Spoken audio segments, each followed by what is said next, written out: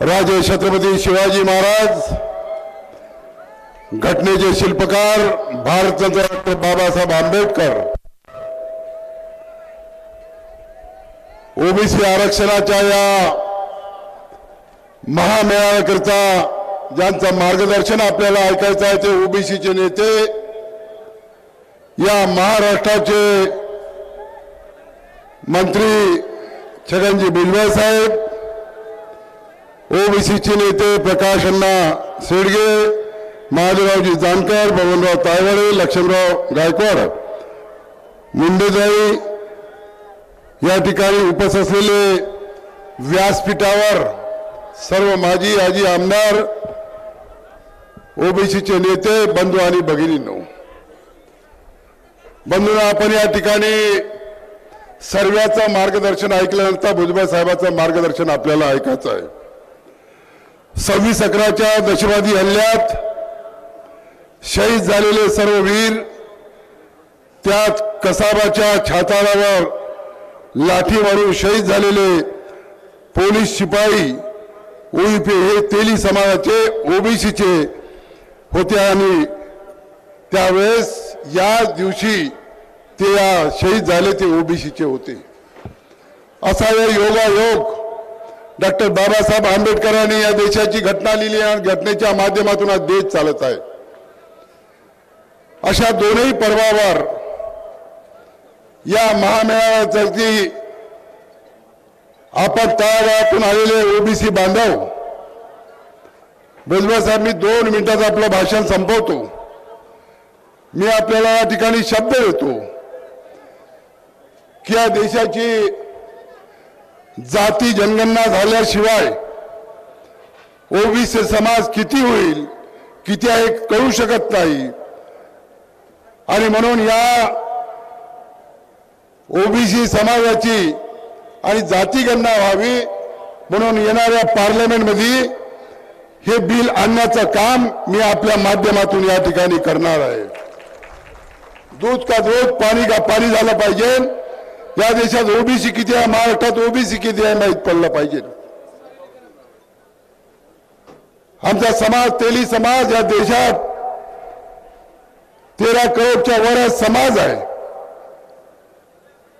आणि विदर्भात हा सर्वात जास्त समाज आहे. तो आपल्या पाठीमाग भक्कमपणे उभा आहे मी या ठिकाणी सांगू इच्छितो.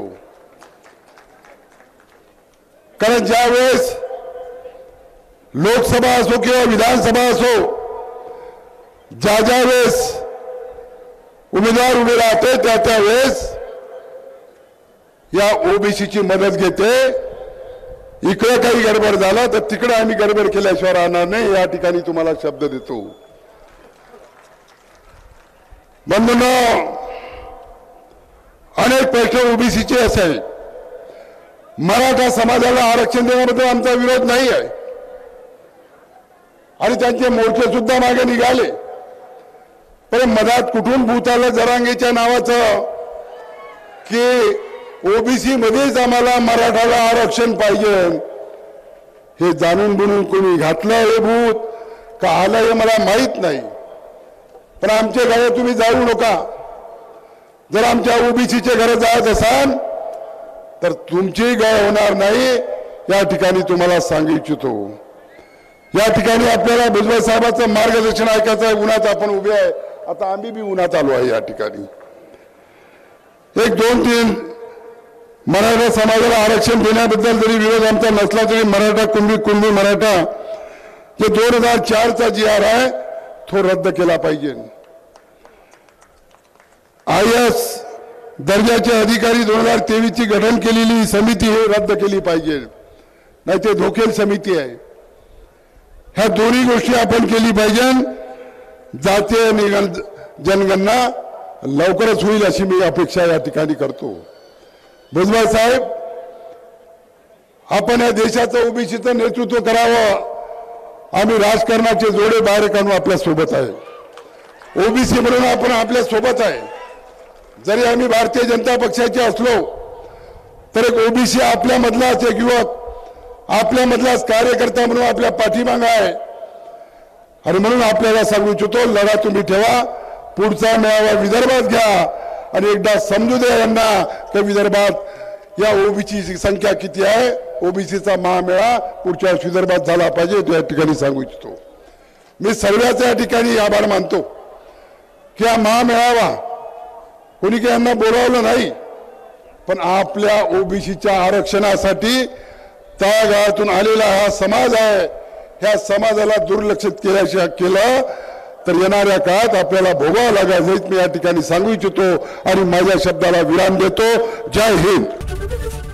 एबीपी माझा. उघडा डोळे बघा नीट.